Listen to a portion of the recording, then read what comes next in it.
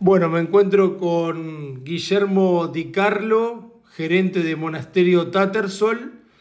Eh, ahora próximamente, el 27 de junio, se viene un remate especial de otoño en Deró.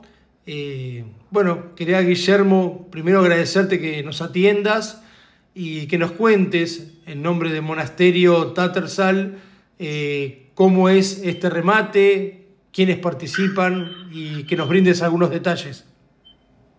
Bueno, ¿qué tal? Eh, buenos días, Rubén. Eh, el remate que vamos a ver el día 27 de junio eh, es un especial de otoño que siempre damos con la familia Sanquitu, que antes los dábamos en Wangueren y ahora los llevamos a Adero para darlo en conjunto con el remate mensual que tenemos siempre ahí en la, oficina, ¿no? digamos, en nuestra feria principal. Eh, el remate va a constar de 30 toros, en los cuales va a haber dos o tres toros de pedi. Eh, los colorados van a salir con 90 días, que son de Huevelén Sur de Sanguito. Después va a haber unos 15 toros negros de genética San Pedro. Y eh, vamos a tener cerca de 70 vaquillonas entre paridas y preñadas con 30 y 60 días eh, de plazo. Y aparte de esto le vamos a sumar en conjunto un remate en el cual va a haber cerca de entre 500 y 700 vientres con plazos de 60 y 90 días y ya tenemos un lote importante destacado de 700 terneros con 90 días de plazo. Las cabañas que acompañan a Sur eh, Estancia San Pedro, que tengo entendido que es de Sierra de la Ventana, ¿no? Eh, sí, ahí en la zona de Suárez, y el otro es Santa Teresita, que bueno, viene de la zona de Monte, que se acompaña con 40 eh, vaquillonas preñadas, puras controladas. Así que bueno, un buen lote de Angus Colorado, que es el Angus que hoy por hoy más está buscando la gente. Sí, sí, es lo que más se está buscando y esperamos tener una buena un buen como es apoyo de la gente y que salga un lindo remate. El plazo creo que ayuda y eso es lo que estamos buscando que poder acercar un buen producto con buenas condiciones a nuestros clientes.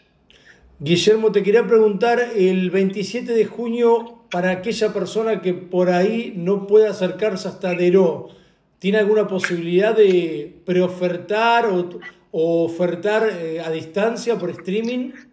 Ya, el remate va a ser siempre oferta, lo vamos a transmitir, o sea que todo cliente que no se pueda acercar o que esté interesado se puede contactar con nosotros previamente al remate y el remate se va a transmitir por streaming por nuestra página. Eh, nosotros si se comunica previamente al remate le vamos a poder pasar toda la información de los lotes y de los toros. Pero eh, lo único que vamos a hacer es una transmisión en vivo para aquel que, no se pueda acercar a la feria. Perfecto. Bueno, eh, te quería consultar por último, bueno, ¿cómo estás viendo, eh, si nos puedes hacer resumidamente un análisis tuyo de cómo estás viendo en, en estas semanas el mercado ganadero y el mercado de reproductores? Se mantiene, no, no está habiendo muchos cambios, lo único, las diferencias en precios que hubo puede ser por estos días de feriado, lo cual hace que haya un poco de falta.